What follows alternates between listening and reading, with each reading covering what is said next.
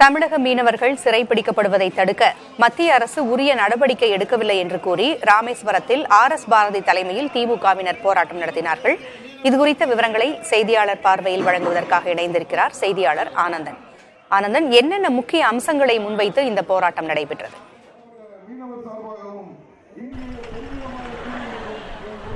பூங்குழலி இன்று காலை அதாவது ஒரு பதினொன்றரை மணி அளவில் ராமேஸ்வரம் துறை பேருந்து நிலையம் எதிரே பத்து வருடங்களாக இலங்கை கடற்படையினரால் முந்நூற்றி எழுபதுக்கும் மேற்பட்ட மூவாயிரத்தி எழுபதுக்கும் மேற்பட்ட மீனவர்கள் சிறைபிடிக்கப்பட்டிருக்காங்க. அதே போல் ஐநூற்றி முப்பத்தி நாலு விசைப்படகுகள் வந்து சிறைபிடிக்க கைது பண்ணப்பட்டிருக்காங்க பறிமுதல் செய்யப்பட்டிருக்காங்க.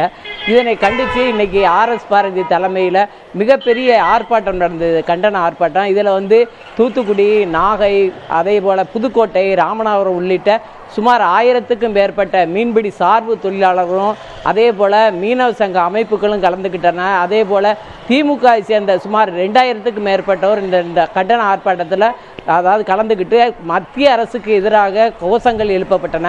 இந்த கோஷத்தில் முக்கியமாக என்ன சொல்கிறாங்கன்னா பத்து வருடங்களாக அதாவது கடந்த பத்து வருடங்களாக தமிழக மீனவர் பிரச்சனையில் மாற்றாந்தாய் மனப்பான்மையோட மத்திய அரசு வந்து தொடர்ச்சியாக ஈடுபட்டு வருது. அது மட்டும் இல்லாமல் தமிழக முதல்வர் தொடர்ந்து கடிதம் எழுதிக்கிட்டே இருக்காரு. அது மட்டும் இல்லாமல் வெளியுறவுத்துறை அமைச்சகத்திற்கு தொடர்பு கொண்டு நேரடியாகவும் டெல்லி போய் பேசியிருக்காரு. ஆனால் இது வரைக்கும் அதாவது இந்த கணம் வரைக்கும் மீனவருடைய கைது நடவடிக்கை தொடர்ச்சியாகவே இருந்துக்கிட்டு இருக்கிறதா கு- குற்றம் சுமத்தியிருக்காங்க. அது மட்டும் இல்லாமல் இந்த பகுதியில் உள்ள மீனவ அமைப்புகள் அதாவது தற்போது நேற்று முன்தினம் கூட பத்தொம்போது மீனவர்கள் வந்து பாதிக்கப்பட்டாங்க அந்த மீனவ குடும்பங்கள் என்ன சொல்கிறாங்கன்னா தொடர்ச்சியாக எங்களுடைய வாழ்வாதாரமான விசைப்படகுகளை வந்து இலங்கை அரசு வந்து பறிமுதல் செஞ்சுக்கிட்டு இருக்காங்க.